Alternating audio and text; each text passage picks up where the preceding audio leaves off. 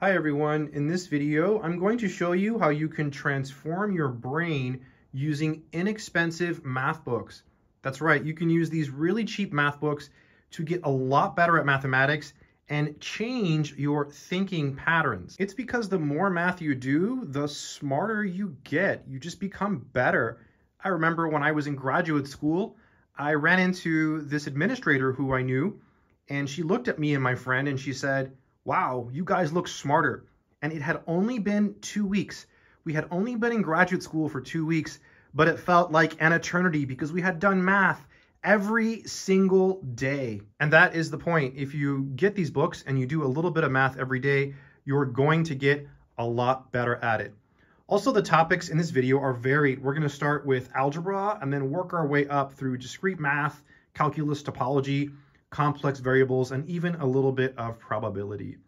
Also, at the end of this video, I'm going to show you a book that is not only cheap, but it's free, and you can use it to help you learn these more advanced topics such as topology.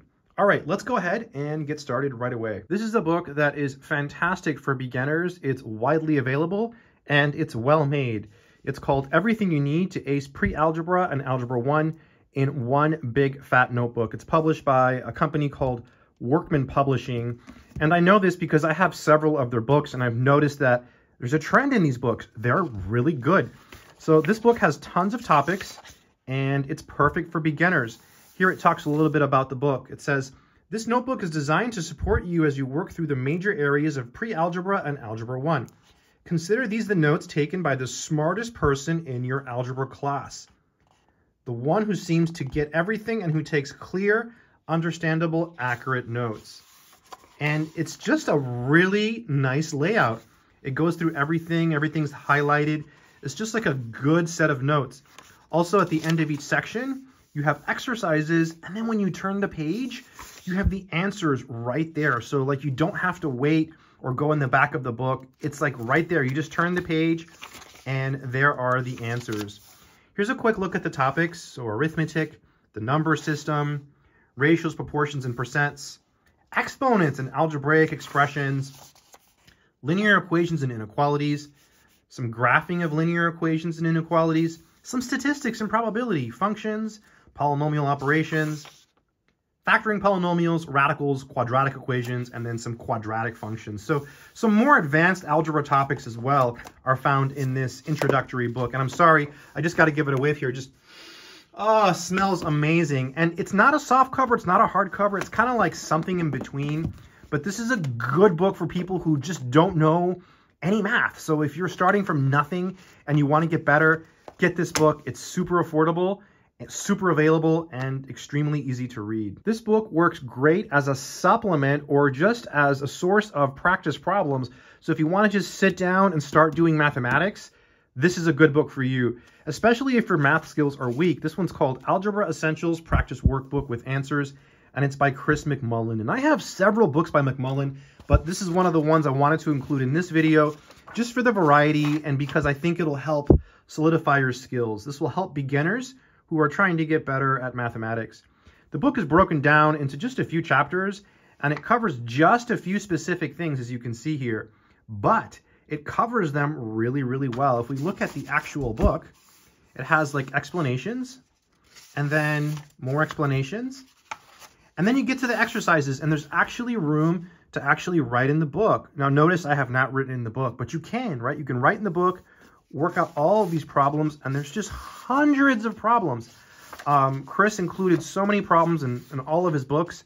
I mean, it's ridiculous. And then in the back of the book, in the back of the book, Chris gives us answers to every single problem, right? That is just completely ridiculous.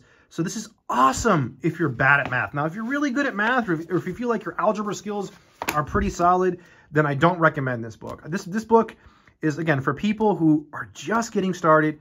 And as you can see, the exercises here are quite simple. So if you feel like you're above this, it's okay, keep watching because we're going to look at some more advanced mathematics coming up soon. And now we have calculus. This is essential calculus skills practice workbook with full solutions by Chris McMullen. So by full solutions, Chris really means full solutions. So the answers, let's just start with that so you can see he has full solutions in the back of the book.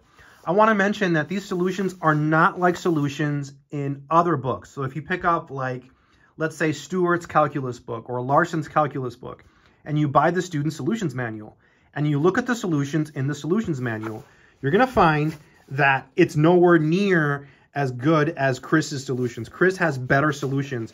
His solutions remind me of YouTube videos. In a video, you take your time and you try to explain things, you know, the best you can. Well, I feel like Chris has done the same thing here with his solutions. He's taken his time and he's tried to explain things, you know, the best he can. I mean, look at look at the level of detail here. Look at this. He's using two brackets for the definite integral. I love that. Not just one, not just one line, but he's using both brackets just for added clarity. Look at that. No steps are skipped. So if you're a person that needs to see these little steps, or you're a person that just needs to review real calculus, this is a great book to review calculus. Also, also, before we jump to the next book, let me just emphasize the topics in this book. So this book covers all kinds of topics. All this is Calc 1 stuff. Okay, Calc 1, Calc 1, Calc 1, Calc 1, Calc 1, Calc 1. Calc 2, chapter 14 is Calc 2, Calc 2, Calc 3. So in theory, this actually contains content from Calculus 1, Calculus 2, and Calculus 3. But it's mostly uh, a Calc 1, a Calc 1 workbook. But I do like that Chris included some topics from Calc 2 and Calc 3 as well. Discrete mathematics. This is often one of the most feared courses for computer science majors because it's one of the few math classes they have to take besides calculus, and it's a tough one.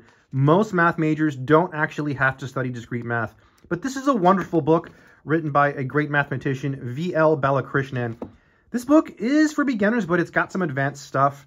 I remember sitting at a mechanic shop reading this book, and I was reading a proof by Paul Erdos. There's a, there's a proof in here by Erdos that I was reading, and I thought, wow, Wow, Erdos was a brilliant man. And you get that from this book. This is a Dover book, by the way. So Dover is a company that takes really old math books and reprints them and sells them at really affordable prices. So I thought, ah, oh, for this video, let me take some of my Dover books because they're awesome, they're well made, and they're classics. This book has everything you need for discrete mathematics. So if you are going to take discrete math in college, it'll work as a great supplement or if you're trying to use it for self-study, it's going to be pretty good. Now, the truth is discrete math is pretty hard, and so it's going to take a lot of effort. And I mean, it would be it would be a lie to say that you could just buy this book and read it and learn everything. That's not true. It's not how it works. But what you can do is you can buy this book, you can sit down with a piece of paper and a pencil, and you can try. And anything you learn is good. That, that's how you should view it. Any knowledge you can get from this book is worth it. Let's look at the answers, page 224. That's going to be back over here. There's the bibliography. And you can see he has answers to some of the exercises, not all. And I really wish he had all of them. You know, I've done a lot of the exercises from this book, so I've looked in the back of the book to check my answers. And um, you can see it's pretty much mostly the odd ones. I don't see any even ones there. But wonderful book um, for discrete math. Inexpensive and affordable. I think it definitely belongs in everyone's mathematical library. Probability is often a subject that is overlooked, and I think it's because you know you can get a degree in statistics or you can get a degree in math, and typically in statistics that's where you see probability. However, this is a book that is entirely devoted to probability. It's called Introduction to Probability, and it's by John E. Freund. And I wanted to show it to you because there's not that many math books that are completely devoted to probability. I mean, there are a lot, but there's certainly more algebra books than there are probability books, for example. Here you can get a look at some of the topics. And again, this is a Dover book, so it's a reprint of the older book. Here's the copyright. 73 is the original copyright by John E. Freund. So probabilities, expectations. So it's just a solid book on probability theory. And it does have answers to the odd numbered exercises in the back of the book. So it makes a pretty good choice uh, for self-study. It reads really well and it's going to give you a different perspective.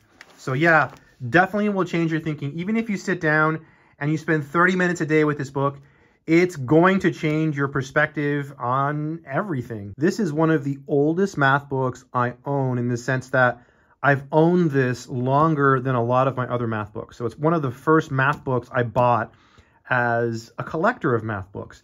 It's called Applied Complex Variables, and it's by John W. Dettman. The only thing I don't like about this book is that it's so thick. So sometimes it doesn't lay flat, although it's proving me wrong right here. so in order to learn complex variables, you're to need to know some calculus. So as long as you know calculus, uh, you can jump into this, but it does help to have some experience uh, writing proofs. But basically all the stuff you see, oh, there you see it, see it's closing. All the stuff you see in calculus, you kind of see again here, but you see it with complex valued functions. A lot of the rules that you learn in calculus, like the stuff from infinite series, um, the rules for differentiation, some of the rules for limits, those things translate in a very natural way to the complex case. And sometimes there are some differences, but this is an affordable book on complex variables, and I think it's worth it if you want to see what the subject is about. Topology is a really beautiful subject. Unfortunately, it has a very high barrier for entry.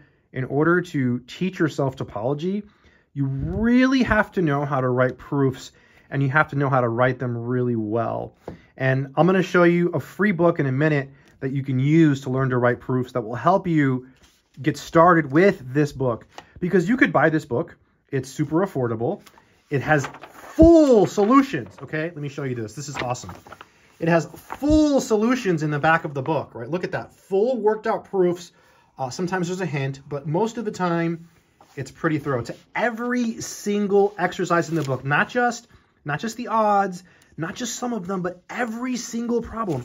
I don't have any other topology book that's like this. I have some that are more expensive, like the one by Munkres, and that has no solutions. This one is super cheap, and it's got full solutions, and it gives an excellent treatment. That doesn't mean it's an easy book, though. Again, you're going to want to have really, really strong proofwriting skills before jumping into um, a book on topology. Here it actually defines a topology, um, which let's just look at it really quickly.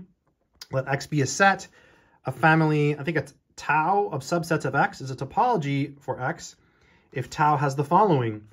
Both X and the empty set belong to tau. Any union of sets in tau belongs to tau, and any finite intersection of sets in tau belongs to tau. So the elements of tau are called open sets.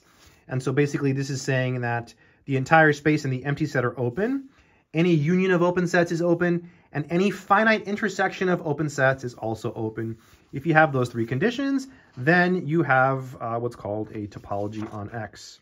So pretty cool. And then you can study all kinds of different topological spaces. There's strange ones. Those are called pathological spaces. And yeah, your proofwriting skills have to be good though, right? That's the biggest challenge. All right, let me show you that free book, which I was talking about at the beginning of the video. So here is the free book. You might be wondering, how is it free if you actually have it in your hands? Well, you can buy it. I actually chose to actually buy this book after reading it uh, and, and working through it. So you can download this book from the internet. Just Google Book of Proof, and it's free. But you can buy a copy as well. And I'll leave links in the description to all of these books in case you uh, want to want to check it out. But worth buying, worth having a physical copy. This book will teach you how to write proofs, right? It'll prepare you for topology, for complex variables, for advanced calculus.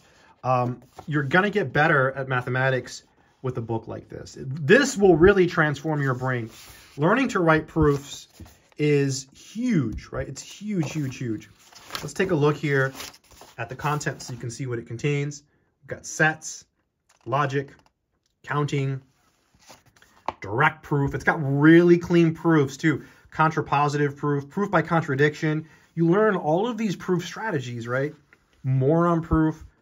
It's an entire book dedicated to proofs, right? And hence the name, Book of Proof.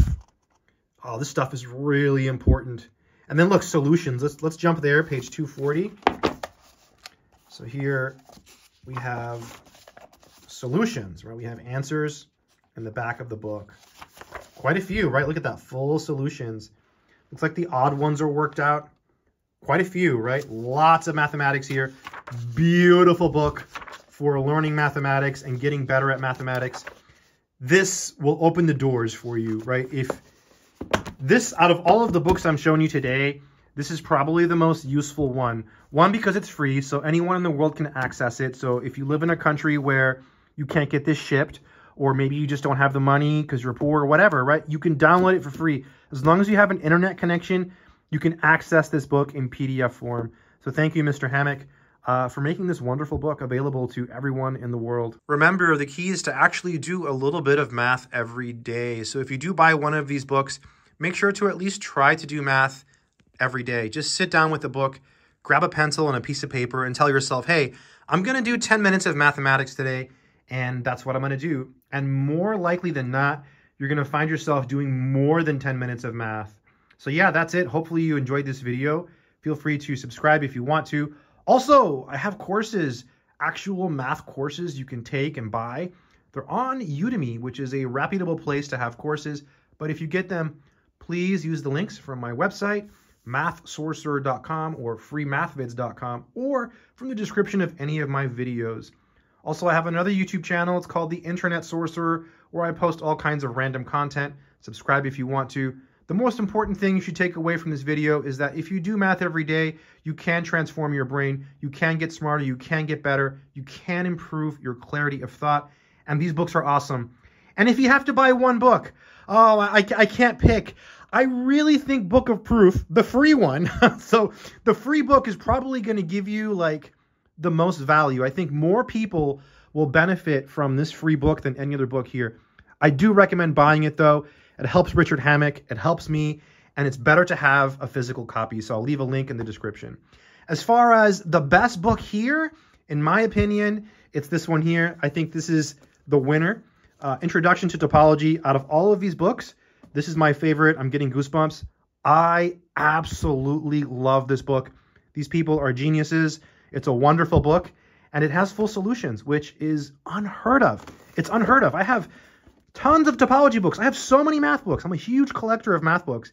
And this is the only one I have that has all the answers. Okay, enough about how great that book is. Keep doing mathematics.